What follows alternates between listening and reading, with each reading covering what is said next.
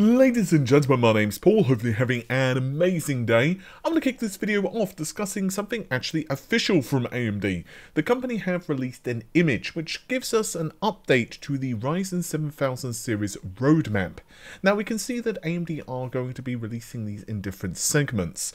The first is Enthusiast Desktop, then there will be Extreme I don't know why I said it like that, gaming laptops, and then finally there will be thin and light gaming.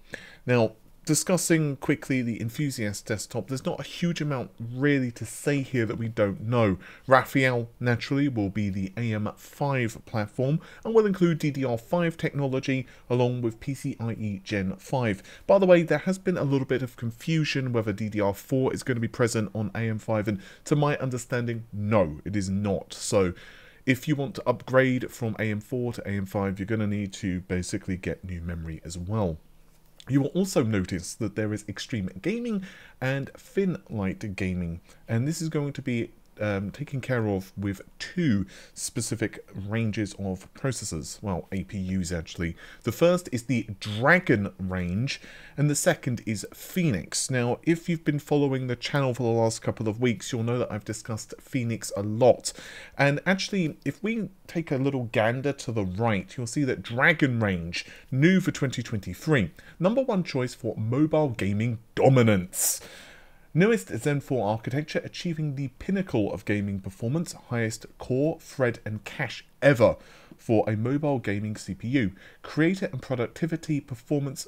Um, so basically, this thing is going to be ridiculously, ridiculously fast. Now, Phoenix will be discussing for just a moment longer. So for my previous information I actually leaked from slides, you'll notice that my info actually was correct here with Phoenix.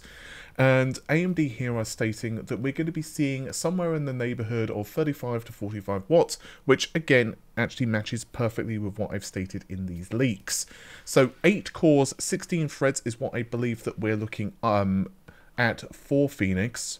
So we're looking at a grand total of 1536 shaders for Phoenix, and these are going to run up to around 3 gigahertz. So honestly, this is going to be an awful lot of performance.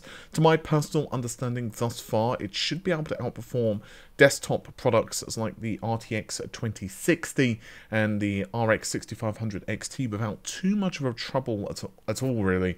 And potentially even we could be seeing performance of around RTX 3060M. So ultimately this is going to be totally and utterly just making, you know, low-end discrete GPUs just totally pointless. Now we also have from AMD confirmation of Dragon Range. Now, Dragon Range is also has been known as Raphael H. Now, in my personal information I've leaked previously, I was told that it goes up to 16 cores, and given the fact that AMD here are stating that, yeah, it's got the highest core and thread count ever, as well as cache, this does seem to add some credibility to my previous leak. 45 to 60 watts is what I was told here, and, well, AMD are stating 55 watts plus. Of course, this is all going to be configuration dependent.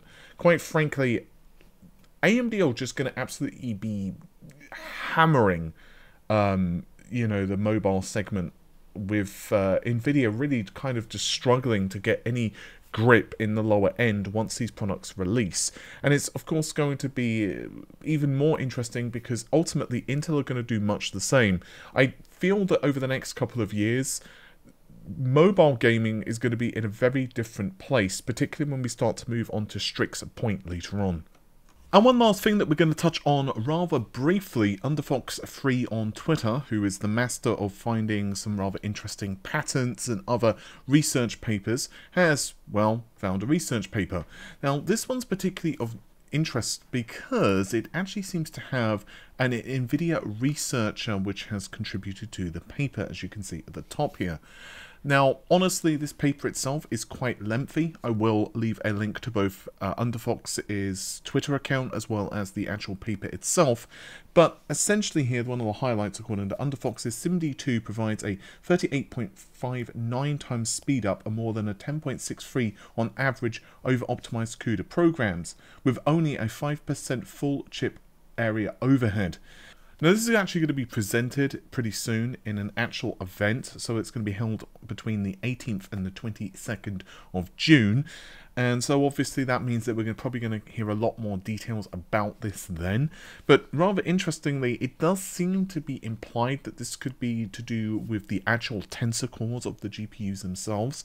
And if nothing else, it's rather interesting that we're going to be seeing this. Now, whether this actually materializes into an actual architecture who really knows? Because even with a patent or a research paper, as everyone knows at this point, it doesn't necessarily become a product.